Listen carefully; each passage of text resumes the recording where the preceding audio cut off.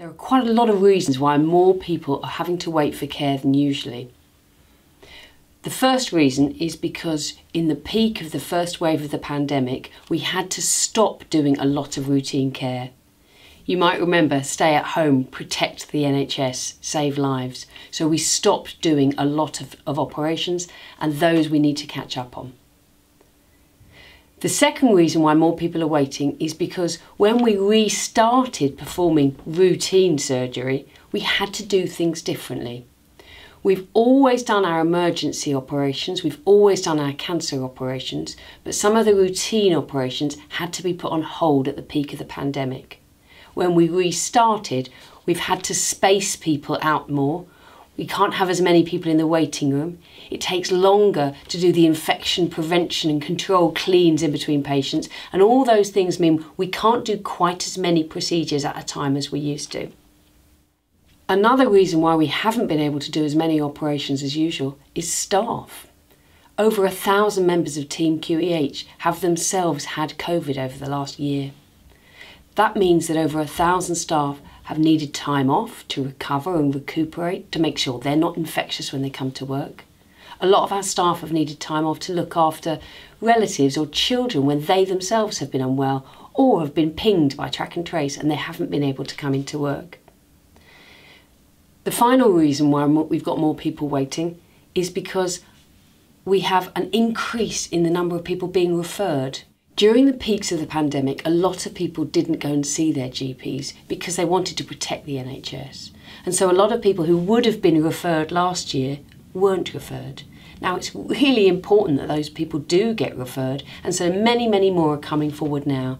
But that means we've got a bit of a bulge, more referrals than usual, and they've all got to be done.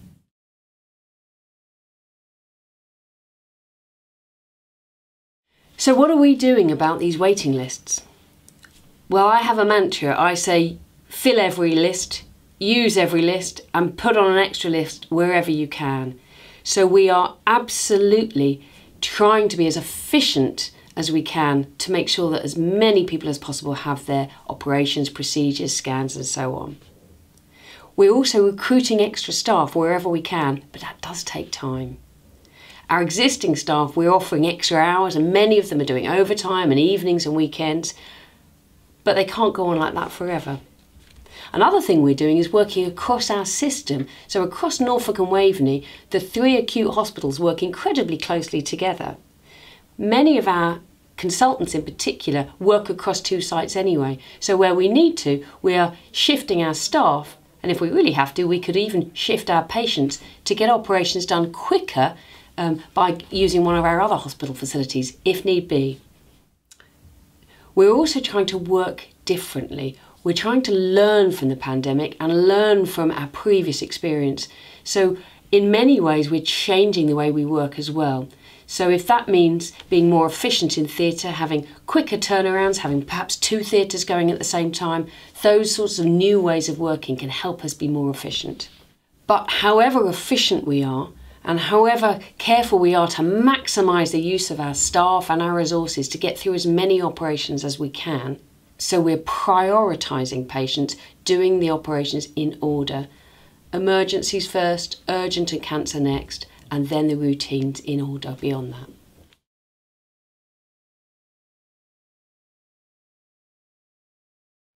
So, with so many people waiting on a waiting list, how do we decide who gets their operation first? The first thing we do is vet all of our new referrals. So that means that whenever we receive a referral letter from primary care or a GP, that is um, reviewed by a consultant or specialist to say how urgently this patient needs to be seen in clinic or needs to have their scan. When a specialist sees a patient, they also um, decide how urgently a procedure needs to be done. That's when people are put on the waiting list. Then when we organise all of our operating and our other procedures, we try really hard to do that in order of clinical priority. Emergency life-threatening procedures will always be done first. Urgent treatments and cancer treatments will always be done second. And then everybody else on the waiting list is prioritised according to how soon this operation must be done. Is this patient at risk of harm if they have to wait too long? We're desperate to, to offer our procedures and our operations as quickly as we can to everybody, but it's really important that we um, make sure we target that resource and, and, and do the operations on the people who need it most first. And then we will do it in order of how long people have been waiting second. And I'm very sorry that sometimes that means people seem to wait longer than a neighbour or a friend. But please be assured that we organise this on grounds of clinical need and that hospital consultants and specialists are in charge of choosing and allocating that clinical need.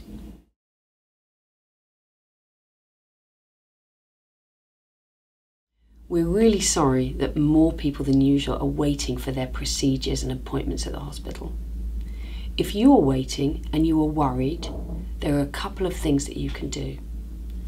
Firstly, if you've been referred to the hospital but you've not met us yet, so you're waiting for your first appointment, please be assured that your consultant has reviewed your referral and has allocated it a priority. They've said how urgently this needs to be done. But if you think your condition has changed since you were first referred to the hospital, then we won't know that. So if you think your condition has deteriorated, please do go and see your GP and they can get in touch with us and we will reassess whether or not your appointment needs to be brought forward. If you've already been seen by the hospital and the specialist has arranged to put you on a waiting list, then please be assured you have been put on that waiting list in order of clinical urgency.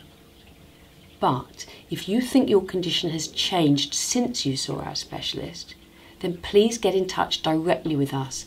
So please contact your own consultant secretary.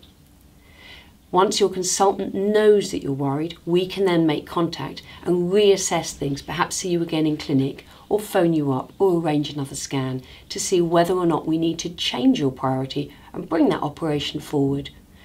Equally, if things have changed and you don't need the operation anymore, or you've had it elsewhere for whatever reason, please get in touch with us as that will help us to make sure that people who still need the operation get it sooner. One last thing, while you're waiting for an operation, do what you can to optimise your own health.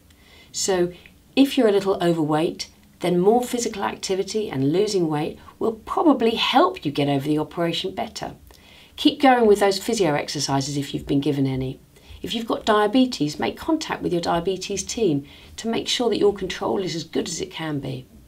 Have you had your blood pressure checked in the last few months? If not, particularly if you're on blood pressure medication, go and get it checked. Let's make sure you're as fit as you possibly can be so that when the time comes for your operation, it goes as smoothly as possible.